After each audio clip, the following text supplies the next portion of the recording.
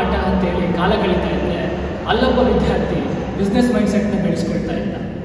ಶಿಕ್ಷಣವನ್ನು ಬರೀ ಪುಸ್ತಕಕ್ಕೆ ಮಾತ್ರ ಸೀಮಿತವಾಗಿರಿಸದೆ, ಅದನ್ನು ನಿಜ ಜೀವನದಲ್ಲಿ ಅಳವಡಿಸಿ ಕರ್ನಾಟಕದ ಬಹಳಷ್ಟು ಯಂಗ್ ಎಂಟರ್ಪ್ರೈನ್ಸ್ಗಳಿಗೆ ಇನ್ಸ್ಪಿರೇಷನ್ ಆಗಿದ್ದಾರೆ ಅವರೇ ನಮ್ಮ ಎಸ್ ಡಿ ಎಮ್ನ ರಿಟೇಲ್ ಆ್ಯಂಡ್ ಸಪ್ಲೈ ಚೈನ್ ಮ್ಯಾನೇಜ್ಮೆಂಟ್ನ ವಿದ್ಯಾರ್ಥಿ ಹಾಗೂ ಗಾಡ್ ಸ್ಟೇಟ್ಸ್ನ ಸಿಇಒ ಮಿಸ್ಟರ್ ಸುಜನ್ ಜೈನ್ ಅವರು ಅವರನ್ನು ಈ ಮಾತುಕತೆಗೆ ಸ್ವಾಗತಿಸೋಣ.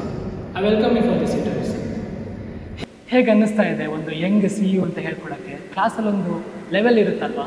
ಹೇಗೆ ಅನ್ನಿಸ್ತಾ ಇದೆ? ತುಂಬ ಖುಷಿಯಾಗುತ್ತೆ ಎಂಗೇಜಲ್ಲೇ ಬಿಸ್ನೆಸ್ ಸ್ಟಾರ್ಟ್ ಮಾಡಿದ್ದೀನಿ. ತುಂಬ ಕಷ್ಟನೂ ಇರುತ್ತೆ ಬಿಸ್ನೆಸ್ಸಲ್ಲಿ ಅದ್ರ ಜೊತೆಗೆ ಅದನ್ನ ನಡೆಸ್ಕೊಂಡು ಹೋಗಬೇಕು. ಕಾಲೇಜು ಸ್ಟಡೀಸು ಇಂಪಾರ್ಟೆಂಟು ಹಾಗಾಗಿ ಸ್ವಲ್ಪ ಕಷ್ಟ ಆಗುತ್ತೆ. ಆದರೂ ಖುಷಿಯಿಂದ ಮಾಡ್ತೀನಿ ಬಿಸ್ನೆಸ್ ಸೊ ನನ್ನ ಮೊದಲ ಕ್ವಶನ್ ಏನಂತ ಹೇಳಿದ್ರೆ ಗಾಸ್ ಸ್ಟೇಸ್ ಅನ್ನುವಂಥ ನೀವು ಒಂದು ವೆಬ್ಸೈಟ್ನ ಸ್ಟಾರ್ಟ್ ಮಾಡಿ ಆ ಐಡಿಯಾ ಹೇಗೆ ಶುರುವಾಯಿತು? ಅಂದರೆ ವೇರಿಯಸ್ ಪ್ಲ್ಯಾಟ್ಫಾರ್ಮ್ಸ್ ಇಂಟರ್ವ್ಯೂಸ್ ನೋಡ್ತಿರುವಾಗ ಯೂಟ್ಯೂಬಲ್ಲಾಗಲಿ ಟಿ ವಿ ಎಸ್ಸಲ್ಲಾಗಲಿ ಟಿ ವಿಯಲ್ಲಾಗಲಿ ನಿವೇದನ್ ನಿಂಪೆಯವ್ರ ಇನ್ಸ್ಪಿರೇಷನ್ ಗೊತ್ತಿರ್ಬೋದ? ರೇಖಟ್ಟಿ ಓನರು. ಹಾ. ಅವ್ರ ಬಿಸ್ನೆಸ್ ಐಡಿಯಾಸ್ ಎಲ್ಲ ತಿಳ್ಕೊಂಡು ಅವ್ರು ಮಾಡಿರೋ ಥರ ನಾನು ಏನಾದ್ರು ಯೂನಿಕಾಗಿ ಮಾಡ್ಬೇಕಂತ ಅನ್ಸ್ಕೊಂಡು ನಾನು ಈ ಬಿಸ್ನೆಸ್ನ ಸ್ಟಾರ್ಟ್ ಮಾಡಿದೆ. ತುಂಬ ಚೆನ್ನಾಗಿ ಸಪೋರ್ಟು ಸಿಕ್ಕಿದೆ. ಲೋಕಲ್ ನ್ಯೂಸ್ ಪ್ಲ್ಯಾಟ್ಫಾರ್ಮ್ಸ್ ಆಗಿರ್ಬೋದು ಬೇರೆ ಬೇರೆ ಮ್ಯಾಗ್ಝಿನ್ಸ್ ಆಗಿರ್ಬೋದು ಎಲ್ಲರ ಸಪೋರ್ಟು ಇದೆ. ಸೊ ಅಂದರೆ ನೀವು ನೀವೊಬ್ಬರೇ ಅದನ್ನು ಪ್ಲ್ಯಾನ್ನ ಶುರು ಮಾಡಿದ್ದ ಹಾಂ ಪ್ಲ್ಯಾನ್ ಒಬ್ಬನೇ ಮಾಡಿದ್ದು. ಮತ್ತು ಕಸಿನ್ಸ್ ಒಂದಿಬ್ಬರು ಹೆಲ್ಪ್ ಮಾಡಿದರು ಪ್ಲ್ಯಾನ್ ಮಾಡುವಾಗೆಲ್ಲ. ಮತ್ತು ನಮ್ಮ ಟೀಮ್ಮೇಟ್ ಆಗಿರೋ ದೀಪಕ್ ಅವರು ಅವರು ಹೆಲ್ಪ್ ಮಾಡಿದ್ದಾರೆ. ಅಂದರೆ ನೀವೀಗ ಒಂದು ಮೂರು ಜನ ಟೀಮಲ್ಲಿ ವರ್ಕ್ ಮಾಡ್ತೀವಿ ಇವಾಗ ಪ್ರೆಸೆಂಟಾಗಿ ತ್ರೀ ಮೆಂಬರ್ಸ್ ವರ್ಕ್ ಮಾಡ್ತೇವೆ ಆದರೆ ಅದರ ಅಫಿಷಿಯಲ್ ವೆಬ್ಸೈಟ್ ಕೂಡ ನೀವೇ ಅಫಿಷಿಯಲ್ ವೆಬ್ಸೈಟು ನಾವೇ ಮೇಂಟೈನ್ ಮಾಡ್ತಿರೋದು. ಇನ್ಸ್ಟಾ ಪೇಜ್ ಆಗಿರ್ಬೋದು ಫೇಸ್ಬುಕ್ ಆಗಿರ್ಬೋದು ಎಲ್ಲದನ್ನೂ ಹ್ಯಾಂಡಲ್ ಮಾಡ್ತೀವಿ.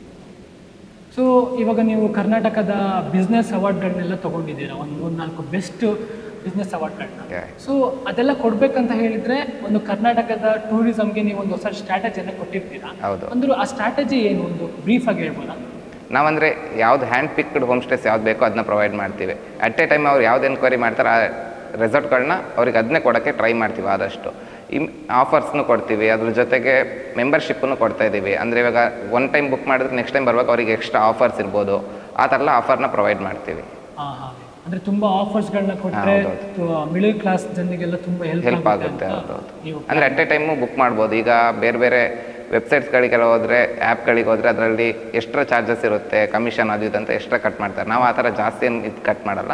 ನಮ್ದು ಏನಿರುತ್ತೆ ಆ ಚಾರ್ಜಸ್ನ ನಾವು ಡೈರೆಕ್ಟ್ ಹೋಟೆಲ್ ಆಗಿರ್ಬೋದು ರೆಸಾರ್ಟ್ ಅವ್ರ ಹತ್ರ ತಗೊತೀವಿ. ಕಸ್ಟಮರ್ಸ್ ಹತ್ರ ಏನು ಇದು ಮಾಡುವ ಸೊ ಇದನ್ನು ನೀವು ಸ್ಟಾರ್ಟ್ ಮಾಡಿದ್ದು ಯಾವಾಗ two thousand twenty one December ಫೈವ್ಗೆ plan ಮಾಡ್ತೀವಿ. ಟೂ ತೌಸಂಡ್ ಟ್ವೆಂಟಿ ಟು ಏಪ್ರಿಲಲ್ಲಿ ಅಫಿಷಿಯಲಾಗಿ ಲಾಂಚ್ ಮಾಡ್ತೀವಿ ವೆಬ್ಸೈಟ್ ಓಕೆ ಓಕೆ ಸೊ ಆ ವೆಬ್ಸೈಟ್ನ ಲಾಂಚ್ ಮಾಡುವಾಗ ತುಂಬ ಪ್ರೊಸೆಸ್ಗಳಿರುತ್ತೆ ಅಲ್ವಾ? ಒಂದು ಏನು ಹೇಳ್ತಾರೆ ಆ ಗೂಗಲ್ ಆ್ಯಡ್ಸಿಗೆ ಅದು ಇದು ಹೌದು. ಅಂತೇಳಿ. ಸೊ ಆ ಪ್ರೊಸೆಸ್ಸಿಗೆ ನಿಮಗೆ ತುಂಬ ಕಷ್ಟ ಆಗಿಲ್ವಾ? ನಿಮಗೆ ನಾಲೆಜ್ ಯಾವ್ದು ಆಯ್ತು ಯಾವ ರೀತಿ ಸಿಕ್ತು? ಅಂದರೆ ಹೆಚ್ಚಾಗೆಲ್ಲ ಈ ಇಂಟರ್ವ್ಯೂಸ್ ಅದನ್ನೇ ನೋಡಿದೆ. ಡಿಜಿಟಲ್ ಮಾರ್ಕೆಟಿಂಗು ಅದನ್ನೆಲ್ಲ ಟ್ರೈ ಮಾಡಿದ್ವಿ. ಯಾವುದಂದ್ರೆ ಇನ್ಸ್ಟಾಗ್ರಾಮ್ ಬೂಸ್ಟ್ ಆಗಿರ್ಬೋದು ಗೂಗಲ್ ಆ್ಯಡ್ಸ್ ಆಗಿರ್ಬೋದು ಎಸ್ ಸಿ ಒ ಮಾರ್ಕೆಟಿಂಗ್ ಆಗಿರ್ಬೋದು ಅದನ್ನೆಲ್ಲ ಟ್ರೈ ಮಾಡಿದ್ವಿ. ಸೊ ನೀವು ಅದು ಆ ಸಣ್ಣ ವಯಸ್ಸಲ್ಲೇ ಇದನ್ನೆಲ್ಲ ತಿಳ್ಕೊಂಡು ವೆಬ್ಸೈಟ್ ವೆಬ್ಸೈಟ್ನ ಶುರು ಮಾಡಿದ್ದೀರಾ? That is really great sir ಅದ್ರ ಜೊತೆಗೆ ಇನ್ಫ್ಲುಯೆನ್ಸರ್ಸ್ ಆಗಿರ್ಬೋದು ಕಂಟೆಂಟ್ ಕ್ರಿಯೇಟರ್ಸ್ ಆಗಿರ್ಬೋದು ಕರ್ನಾಟಕ ಟಾಪ್ ಕಂಟೆಂಟ್ ಕ್ರಿಯೇಟರ್ಸ್ ತುಂಬ ಜನ ಸಪೋರ್ಟ್ ಮಾಡಿದ್ದಾರೆ. ಸ್ಟೋರೀಸಲ್ಲಾಗಿರ್ಬೋದು ರೀಲ್ಸಲ್ಲಾಗಿರ್ಬೋದು ಎಲ್ಲರೂ ಸಪೋರ್ಟ್ ಮಾಡಿದ್ದಾರೆ. ಸೊ ನಿಮ್ಗೆ ಯಾರಾದರೂ ಆ ಟೈಮಲ್ಲಿ ಯಾರಾದರೂ ಇನ್ಫ್ಲುಯೆನ್ಸರ್ ಸಿಕ್ಕಿದ್ರಾ? ಆ ಟೈಮಲ್ಲಿ ಆ ಟೈಮಲ್ಲಿ ಯಾರೂ ಸಿಗಲಿಲ್ಲ. ಬರ್ತ್ ಬಿಸ್ನೆಸ್ ರನ್ ಆಗ್ತಾ ಆಗ್ತಾ ಸಪೋರ್ಟ್ ಸಪೋರ್ಟ್ ಸಿಗ್ತಾ ಹೋಯ್ತು. ಓಕೆ ನೀವು ಇದನ್ನು ನೀವು ಒಬ್ಬರೇ ಐಡಿಯಾನ ತಗೊಬಂದು ನಿಮ್ಮ ಮೂರು ಜನ ಏನು ಟೀಮ್ ಇದೆ ಅವರಿಗೆ ನೀವು ಎಕ್ಸಿಕ್ಯೂಟ್ ಜೊತೆಗೆ ಎಕ್ಸಿಕ್ಯೂಟ್ ಮಾಡಿ ಸೊ ಫಸ್ಟ್ ನೀವು ಒಂದು ಅಪ್ಪ ಅಮ್ಮನ ಒಂದೇನು ಅವ್ರ ಸಪೋರ್ಟ್ ವಾಲ್ ಪಕ್ಕ ಫಸ್ಟ್ ಬರ್ತದೆ. ಸೊ ಹೇಗೆ ಹೇಗೆ ನೀವು ಅದನ್ನು ಮ್ಯಾನೇಜ್ ಮಾಡಿದ್ರಿ? ಅಪ್ಪ ಅಮ್ಮ ಹೇಳೋ ಕೇಳಿದ್ರ? ಹೇಗಿತ್ತು ಅವ್ರ ಫಸ್ಟಿಗೆ ಬೇಡ ಅಂತ ಹೇಳಿದ್ರು ಸ್ಟಡೀಸ್ ಜೊತೆ ಎಲ್ಲ. ಮತ್ತೆ ಮತ್ತೆ ಅವಾರ್ಡ್ಸ್ ಎಲ್ಲ ಬಂತು ಸಪೋರ್ಟ್ ಮಾಡಿದ್ರು. ಫಿನಾನ್ಷಿಯಲ್ ಆಗಿರ್ಬೋದು ಫ್ಯಾಮಿಲಿ ಸಪೋರ್ಟ್ ಎಲ್ಲ ಸಿಕ್ಕಿದೆ. ಫ್ಯಾಮಿಲಿ ಸಪೋರ್ಟ್ ಕರೆಕ್ಟ್ ಆಗಿದೆ ಕರೆಕ್ಟ್ ಆಗಿದೆ. ಸೊ ಹಾಗಾದ್ರೆ ಇವಾಗ ಎರಡು ಸಾವಿರದ ಇಪ್ಪತ್ತೊಂದು ಅಂತ ಹೇಳಿದ್ರೆ ಆಲ್ಮೋಸ್ಟ್ ಇವಾಗ ಒಂದು ತ್ರೀ ಇಯರ್ಸ್ ಆಯ್ತು. ಆಯ್ತು. ಸೊ ಆ ಟೈಮಲ್ಲಿ ನೀವು ಎಜುಕೇಶನ್ ಕೂಡ ಫಾಲೋ ಮಾಡ್ತಾ ಹೌದೌದು. ಸೊ ನಿಮಗೆ ಕಷ್ಟ ಆಗಿಲ್ವಾ? ಎಜುಕೇಶನ್ ಮತ್ತೆ ಬಿಸ್ನೆಸ್ ಅಂದರೆ ಲಾಂಚ್ ಮಾಡೋ ಟೈಮಲ್ಲಿ ಜಸ್ಟ್ ಐಡಿಯಾ ಇಟ್ಕೊಂಡಿದ್ವಿ. ಅದಾದಮೇಲೆ ಸೆಕೆಂಡ್ ಪಿ ಸಿ ಎಕ್ಸಾಮ್ ಮುಗೀತು. ಅದಾದಮೇಲೆ ರಜೆ ಸಿಗುತ್ತೆ. ಹೇಗಿದ್ರು three four to five months break ಇರುತ್ತೆ. ಆ ಟೈಮಲ್ಲಿ ಬಿಸ್ನೆಸ್ ಲಾಂಚ್ ಮಾಡಿದ್ವಿ ಪ್ಲ್ಯಾನ್ ಮಾಡಿ. ಕೆಲವು ರೆಸಾರ್ಟ್ಗಳಿಗೆ ಹೋಗುವಂಥದ್ದು ಹೋಮ್ ಸ್ಟೇಗಳಿಗೆ ಹೋಗುವಂಥದ್ದು ಅಲ್ಲೆಲ್ಲ ಮಾತಾಡುವಂಥದ್ದು ಓನರ್ಸ್ ಜೊತೆ. ಆ ಥರ ಮಾಡಿಕೊಂಡು ಟೈಅಪ್ ಮಾಡ್ಕೊಂಡು ಬಿಸ್ನೆಸ್ ರನ್ ಮಾಡ್ತಾ ಬಂದ್ವಿ. ಅಂದರೆ ನೀವು ಇವಾಗ ಅಂದರೆ ಕರ್ನಾಟಕದಿರುವಂಥ ಎಲ್ಲ ಹೋಮ್ ಸ್ಟೇಗೆ ಕೂಡ ನೀವು ಏನಿದ್ದೀರಾ ಇದು ಕೊಟ್ಟಿದ್ದೀರಾ ಕನೆಕ್ಟ್ ಕೊಟ್ಟಿದ್ದೀರಾ ನಿಮ್ಮ ವೆಬ್ಸೈಟಿಗೆ ಅಲ್ವಾ? ಹೌದು ಸೊ ಹಾಗಾದ್ರೆ ನೀವು ಖುದ್ದಾಗಿ ಹೋಗಿ ಹೋಮ್ ಸ್ಟೇಸ್ ಎಲ್ಲ ನೋಡಿದ್ದೀರಾ? ಹಾಂ ಈಗಿರುವಂಥದ್ದು ನಾವು ಪ್ರೆಸೆಂಟಾಗಿ ಕ ಮಾಡ್ತಾ ಹೋಗ್ತಾ ಇದೀವಿ. ಅಂದರೆ ಹೆಚ್ಚು ಹೋಮ್ ಸ್ಟೇಸ್ ಇಲ್ಲ. ರೀಸೆಂಟಾಗಿ ರಿನೋವೇಟ್ ಮಾಡಿದ್ವಿ ಫುಲ್ ಬಿಸ್ನೆಸ್ನೇ ಲಾಸ್ಟ್ ಒಂದು ತ್ರೀ ಫೋರ್ ಮಂತ್ಸ್ ಬ್ಯಾಕು ಅವಾಗ ಏನು ಮಾಡಿದ್ವಿ, ನಮ್ಗೆ ಯಾವ್ದು ಬೇಕು, ಯಾವ್ದು ಕಸ್ಟಮರ್ಸ್ ಜಾಸ್ತಿ ಪ್ರಿಫರೆನ್ಸ್ ಕೊಡ್ತಾರೆ ಅದನ್ನ ಮಾತ್ರ ನಾವು ವೆಬ್ಸೈಟಲ್ಲಿ ಹಾಕ್ಲಿಕ್ಕೆ ಟ್ರೈ ಮಾಡಿದ್ವಿ. ಕೆಲವೊಬ್ಬೊಬ್ಬರು ಒಪ್ಪಿದ್ರು ಹಾಕ್ಲಿಕ್ಕೆ, ಕೆಲವೊಬ್ರು ಒಬ್ಬ ಒಪ್ಪಲಿಲ್ಲ ಹೋದಾಗ. ಆದರೂ ಕೆಲವೊಂದು ಈಗ ಬರ್ತಾನೆ ಇರ್ತವೆ ಮಂತ್ಲಿ ಒಂದು two three home stays request ಬರ್ತಾನೆ ಇರ್ತವೆ ವೆಬ್ಸೈಟಿಗೆ ಲಿಸ್ಟ್ ಮಾಡ್ತೀವಿ, ಹಾಗೆ ಅಂತ.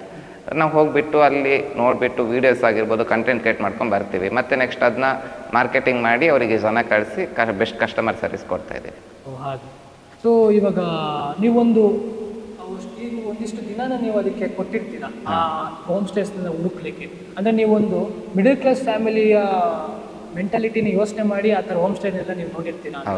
ನನ್ನ ಒಂದು ಪಾಯಿಂಟ್ ಆಫ್ ವ್ಯೂ ಸೊ ಹೇ ಎಷ್ಟು ಹೋಮ್ ಸ್ಟೇಸ್ಗಳನ್ನ ಇಷ್ಟು ಎಷ್ಟು ತಿಂಗಳಲ್ಲಿ ನೀವು ಕವರ್ ಮಾಡಿದ್ರಿ ಅದಕ್ಕೆ ಇಡೀ ಕರ್ನಾಟಕದಲ್ಲಿರುವಂಥ ಹೋಮ್ ಸ್ಟೇನ ಅಥವಾ ಒಂದಿಷ್ಟು ಹೋಮ್ ಸ್ಟೇನ ನೀವು ಸುತ್ತಾಡಿರ್ತೀರಲ್ಲ ಎಷ್ಟು ಟೈಮ್ ತೊಗೊಂಡ್ರಿ ಅದಕ್ಕೆ? ಟೈಮ್ ಒಂದು ಟೂ ತ್ರೀ ಮಂತ್ಸ್ ತೊಗೊಂಡಿದ್ದೀನಿ ಅಂದರೆ ನೀವು ಪಿ ಯು ಸಿ ರಾಜ್ಯದಲ್ಲಿ ಬರೀ ಇದೆ ಸುತ್ತಾಡಿ? ಪಿ ಯು ಸಿ ರಜದಲ್ಲಿ ಅಂದ್ರೆ ನಮ್ಮ ನಿಯರ್ ಬೈ ಯಾವ್ದಿದೆ ರಿಲೇಟಿವ್ಸ್ ಯಾವ್ದಿದೆ ಅದು ಮಾತ್ರ ಇದು ಮಾಡ್ತಿದ್ವಿ. ಅದಾದ್ಮೇಲೆ ಹೋಗ್ತಾ ಹೋಗ್ತಾ ರಾಜ್ಯದಲ್ಲಿ ವೀಕೆಂಡ್ಸ್ ಅಲ್ಲಿ ಆಗಿರ್ಬೋದು ಎಕ್ಸ್ಪ್ಲೋರ್ ಮಾಡೋದು ಅಲ್ಲಿರೋ ಪ್ಲೇಸಸ್ ಅವಾಗ ಹೋದಾಗ ಅಲ್ಲಿ ಯಾವ್ದಾದ್ರು ನಿಯರ್ ಬೈ ಬೆಸ್ಟ್ ರೆಸಾರ್ಟ್ಸ್ ಇದ್ರೆ ಅವ್ರ ಜೊತೆ ಹೋಗಿ ಮಾತಾಡುವಂಥದ್ದು ಅವ್ರನ್ನ ನಮ್ಮ ಜೊತೆ ಕಂಬೈನ್ ಮಾಡ್ಕೊಂಡು ಆ ಥರ ಮಾಡ್ತೀವಿ. ಸೊ ನೀವು ಇವಾಗ ಒಂದು ಆ, ಅಂದ್ರೆ ಯಂಗ್ ಅಲ್ವಾ? ಯಂಗ್ ಆಗಿ ಏನೋ ಒಂದು ಸ್ಟಾರ್ಟ್ ಮಾಡ್ತಿರುವಾಗ ಅದು ನೀವು ಹೋಗಿ ಮಾತಾಡುವಾಗ ಅಲ್ಲಿ ಅಷ್ಟು ಒಂದು ಎಂತ ಹೇಳ್ತಾರೆ ಆ, ಆ attention ಭಯ ಅನ್ನೋದು. ಹೌದೌದು ಭಯ ಅನ್ನೋದು ಇದ್ದೇ ಇರುತ್ತೆ. ಭಯ ಮತ್ತೆ ಅವರಿಂದ ಕರೆಕ್ಟ್ ರೆಸ್ಪಾನ್ಸ್ ಸಿಗಲ್ಲ. ಸಿಗಲ್ಲ ಯಾಕಂದ್ರೆ ನೀವು ಸಣ್ಣವರು ಏನೋ ಒಂದು ಅಂದ್ರೆ ಅವರಿಗೆ ಕಾನ್ಫಿಡೆನ್ಸ್ ಸಿಗಲ್ಲ. ಅವರಿಗೆ ಒಂದು ನಂಬಿಕೆ ಬರಲ್ಲ. ಸೊ ಆ ನಂಬಿಕೆನ ಯಾವ ರೀತಿ ಗಳಿಸ್ಕೊಂಡ್ರಿ ನೀವು? ಅವ್ರ ಹತ್ರ ಮಾತಾಡುವಾಗ. ನಮ್ಗೇನಂದ್ರೆ ಇವಾಗ ನಾವು ಮಾಡೋದು ನೋಡಿ ಮ್ಯಾಗ್ಝಿನ್ಸ್ ಅವ್ರ ಹೆಲ್ಪ್ ಇದೆ ನ್ಯೂಸ್ ಅವ್ರ ಹೆಲ್ಪ್ ಇದೆ.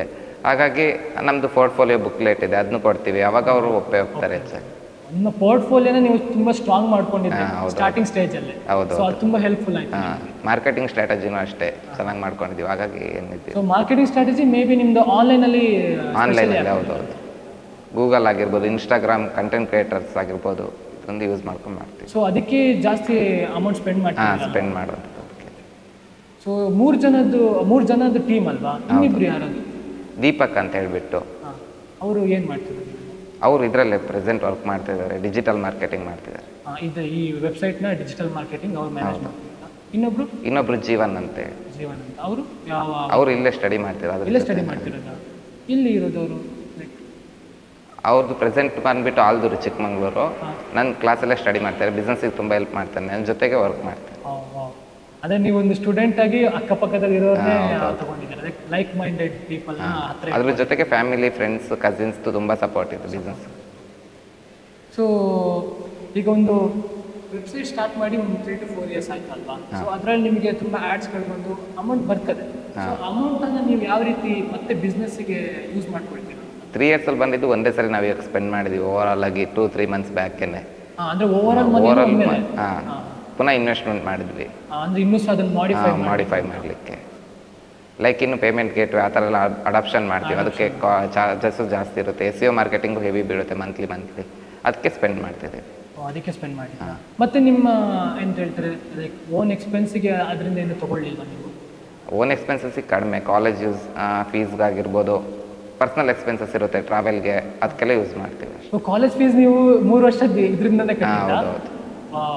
ಅದಕ್ಕೂ ಅದು ಆ್ಯಕ್ಚುಲಿ ತುಂಬ ಇನ್ಸ್ಪಿರೇಷನ್ ಸರ್. ಅದ್ರ ಜೊತೆ ಗ್ಯಾಜೆಟ್ಸ್ ಆಗಿರ್ಬೋದು ಅದನ್ನ ತಗೊಳೋದು ಅದ್ರ ಅದು ಯೂಸಿಗಾಗಿ ಅದಕ್ಕೆ ಅದರಲ್ಲೇ ತಗೊತೀವಿ ಅಷ್ಟೇ. ಅಂದರೆ ನೀವು ಮನೆಯಿಂದ ಕೇಳೋದು ತುಂಬ ಕಡಿಮೆ. ಕಡಿಮೆ. ಅಂದ್ರೆ ಅದು ಆ್ಯಕ್ಚುಲಿ ಅದು ಅದೇ ಆ್ಯಕ್ಚುಲಿ ತುಂಬ ಇಂಪಾರ್ಟೆಂಟ್ ಹೌದು. ಎಲ್ಲರೂ ಕೂಡ ಅದನ್ನ ಎಕ್ಸ್ಪೆಕ್ಟ್ ಮಾಡ್ತಿರ್ತಾರೆ. ಅಂದ್ರೆ ಸಣ್ಣ ಏಜಲ್ಲಿ ನಾವು ಮನೇಲಿ ದುಡ್ಡು ಕೇಳಬಾರ್ದು ನಾವೇ ದುಡಿಬೇಕು ಅಂತ ಹೇಳಿ ತುಂಬ ಅನ್ಕೊಳ್ತಾ ಇರ್ತಾರೆ ಸೊ ನೀವು ತ್ರೀ ಟು ಫೋರ್ ಇಯರ್ಸ್ ಅದಕ್ಕೆ ಹಾರ್ಡ್ ವರ್ಕ್ ಮಾಡಿ ನಿಮ್ಮ ಫೀಸನ್ನು ನೀವೇ ಕಟ್ಕೊಳ್ತಿರೋದು. ಇಟ್ಸ್ ರಿಯಲಿ ಇನ್ಸ್ಪಿರೇಷನ್ಸ್ ಮತ್ತು ಈ ಇಂಟರ್ವ್ಯೂನ ಆ್ಯಕ್ಚುಲಿ ತುಂಬ ಜನ ಸ್ಟೂಡೆಂಟ್ಸ್ಗಳು ನೋಡ್ತಾ ಇದ್ದಾರೆ. ಸೊ ಅವರಿಗೆ ಏನು ಸಜೆಷನ್ ಮಾಡ್ತೀರಾ? ಈಗ ಇನ್ ಕೇಸ್ ಯಾವುದಾದ್ರೂ ಒಂದು ಸ್ಟ್ರಾಟಜಿ ಇರುತ್ತಲ್ವಾ? ಒಂದು ಬಿಸ್ನೆಸ್ ಏನೋ ಮಾಡಬೇಕಂತ ಇರ್ತಾರೆ. ಸೊ ಆ ಬಿಸ್ನೆಸ್ಸನ್ನು ಮಾಡ್ಬೇಕಂತ ಹೇಳಿದ್ರೆ ಏನನ್ನೆಲ್ಲ ತಲೆಯಲ್ಲಿ ಇಟ್ಕೋಬೇಕು? ಅಂದರೆ ನೀವೀಗ ಒಂದು ತ್ರೀ ಟು ಫೋರ್ ಇಯರ್ಸ್ ಏನು ವರ್ಕ್ ಮಾಡಿದ್ದೀರಾ? ಹಾರ್ಡ್ ವರ್ಕ್ ಮಾಡಿದ್ದೀರಾ? ತುಂಬ ಬ್ಯಾರಿಯರ್ಸ್ ಬಂದಿರ್ತದೆ ಮಾಡುವಾಗ. ಸೊ ಅದನ್ನೆಲ್ಲ ನೀವು ಯೋಚನೆ ಮಾಡಿ ಒಂದು ನಾಲ್ಕೈದು ಸಜೆಷನ್ ಏನು ಕೊಡ್ತೀರಾ? ಫಸ್ಟು ಬಿಸ್ನೆಸ್ನ ಪ್ಲ್ಯಾನ್ ಮಾಡಬೇಕು. ಯಾವುದೇ ಆಗಿರಲಿ ಯಾವ ಥರ ಬಿಸ್ನೆಸ್ ಮಾಡ್ತೀವಿ, ಯಾವ ಲೊಕೇಶನಲ್ಲಿ ಮಾಡ್ತೀವಿ, ಯಾವ ಟೈಪಲ್ಲಿ ಮಾಡ್ತೀವಿ ಅದನ್ನ ಫಸ್ಟ್ ನೆನಪಲ್ಲಿ ಇಟ್ಕೊಬೇಕು. ಅದಾದಮೇಲೆ ಲೈಸೆನ್ಸಸ್ ಆಗಿರ್ಬೋದು ಗೌರ್ಮೆಂಟಿಂದ ಈಗ ಫುಡ್ ಪ್ರಾಡಕ್ಟ್ ಮಾಡ್ತಾರಂತಾದರೆ ಎಫ್ ಎಸ್ ಎಸ್ ಐ ಇರಬೇಕು. ಬೇರೆದಾದರೆ ಈಗ ಗೌರ್ಮೆಂಟ್ ಇರುತ್ತೆ ಎಂ ಎಸ್ ಎಂ ಎಲ್ಲಿ ಲಿಸ್ಟ್ ಮಾಡಬೇಕಾಗುತ್ತೆ ಬಿಸ್ನೆಸ್ನ ಎಂ ಸಿ ಅಲ್ಲಿ ಕಂಪನಿ ರಿಜಿಸ್ಟ್ರೇಷನ್ ಮಾಡಬೇಕು. ಆ ಥರ ಗೌರ್ಮೆಂಟಿಗೆ ಗೌರ್ಮೆಂಟಲ್ಲಿ ರಿಜಿಸ್ಟ್ರೇಷನ್ ಆಗಿರಬೇಕು. ಸುಮ್ಮನೆ ಬಿಸ್ನೆಸ್ ಸ್ಟಾರ್ಟ್ ಮಾಡಿ ಮತ್ತೆ ಪ್ರಾಬ್ಲಮ್ಸು ಜಾಸ್ತಿ ಬರುತ್ತೆ. ಅದನ್ನ ಮೈಂಡಲ್ಲಿ ಇಟ್ಕೊಬೇಕು. ಅದಾದಮೇಲೆ ಬಿಸ್ನೆಸ್ಸಲ್ಲಿ ಲಾಸ್ ಅನ್ನೋದು ಇದ್ದೇ ಇರುತ್ತೆ. ಯಾರೋ ಮಾಡ್ತಾರೆ ಬಿಸ್ನೆಸ್ ಅಂತೇಳಿ ಎಲ್ಲರೂ ಬಿಸ್ನೆಸ್ನ ಮಾಡಲಿಕ್ಕಾಗಲ್ಲ. ಅದನ್ನ ಮೈಂಡಲ್ಲಿ ಇಟ್ಕೊಬೇಕು. ಸೊ ಅಂದರೆ ನಾವು ಫೇಲ್ಯೂರ್ಗೆ ರೆಡಿ ಆಗಬೇಕಂತ ನೀವು ಹೇಳ್ತಾ ಇದ್ದೀರಾ? ಸೊ ಅಂದರೆ ಫ್ಯಾಮಿಲಿ ಸಪೋರ್ಟ್ ಇಲ್ಲದೆ ಇದ್ರೂ ಕೂಡ ನಾವು ಒಂದು ನಮ್ಮ ಮೈಂಡ್ ಸೆಟ್ ಹೇಗಿರ್ತದೆ ಅದ್ರ ಮೇಲೆ ಮುಂದೆ ನಾವು ಯಾವ ಥರ ಅದಕ್ಕೆ ಟೈಮ್ ಕೊಡ್ತೀವಿ ಯಾವ ಥರ ವರ್ಕ್ ಮಾಡ್ತೀವಿ ಅನ್ನೋದು ಡಿಪೆಂಡ್ಸ್ ಆಗುತ್ತೆ. ಹಾಂ ಹಾಂ ಸೊ ಥ್ಯಾಂಕ್ ಯು ಸರ್ ಈ ಇಂಟರ್ವ್ಯೂಗೆ ಬಂದಿದ್ದಕ್ಕೆ. ತುಂಬ ನನಗೆ ಇನ್ಫಾರ್ಮೇಷನ್ ಸಿಕ್ತು ನಿಮ್ಮ ಕಡೆಯಿಂದ. ಮತ್ತು ತುಂಬ ಜನ ಈ ಇಂಟರ್ವ್ಯೂ ನೋಡ್ತಾ ಇದ್ದಾರೆ. ಅವರಿಗೆಲ್ಲರಿಗೂ ಇನ್ಸ್ಪಿರೇಷನ್ ಆಗಿದ್ದೀರಾ ನೀವು? ಮತ್ತು ಅವರು ಅವರಿಗೆ ತುಂಬ ನಿಮ್ಮ ಕಡೆಯಿಂದ ಏನೆಲ್ಲ ಐಡಿಯಾಸ್ಗಳೆಲ್ಲ ಸಿಕ್ಕಿದೆ. ಸೊ ಇದರಿಂದ ನಮಗೆ ಸ್ಟೂಡೆಂಟ್ಸ್ಗಳಿಗೆ ತುಂಬ ಹೆಲ್ಪ್ಫುಲ್ ಆಗುತ್ತೆ ಅಂತೇಳಿ ಆ, ಹೇಳ್ಕೊಂಡು ಇವತ್ತಿನ ಈ ಇಂಟರ್ವ್ಯೂಗೆ ಬಂದಿದ್ದಕ್ಕೆ ತುಂಬ thank you sir thank you ನೋಡಿದ್ರಲ್ಲ ಸುಜನ್ ಜೈನ್ ಅವರ ಸಿಇಒ ಜರ್ನಿ ತುಂಬ ಜನ ಹೇಳ್ತಾರೆ ಬೇಗ ಸಕ್ಸಸ್ಫುಲ್ ಆದರೆ ಬರುತ್ತೆ ಅಂತ. ಆದರೆ ಸುಜನ್ ಜೈನ್ ಅವರದ್ದು ಡೌನ್ ಟು ಅರ್ತ್ ಕ್ಯಾರೆಕ್ಟರ್ ಅವರಿಗೆ ಹೀಗೆ ಲೈಫಲ್ಲಿ ಬಹಳಷ್ಟು ಅಚೀವ್ಮೆಂಟ್ಸ್ಗಳನ್ನ ಪಡ್ಕೊಂಡು ಅವರು ಸಕ್ಸಸ್ಫುಲ್ ಅಂತ ಹೇಳ್ತಾ ನೆಕ್ಸ್ಟ್ ಬರುವಂಥ ಇಂಟರ್ವ್ಯೂನಲ್ಲಿ ಸಿಗೋಣ.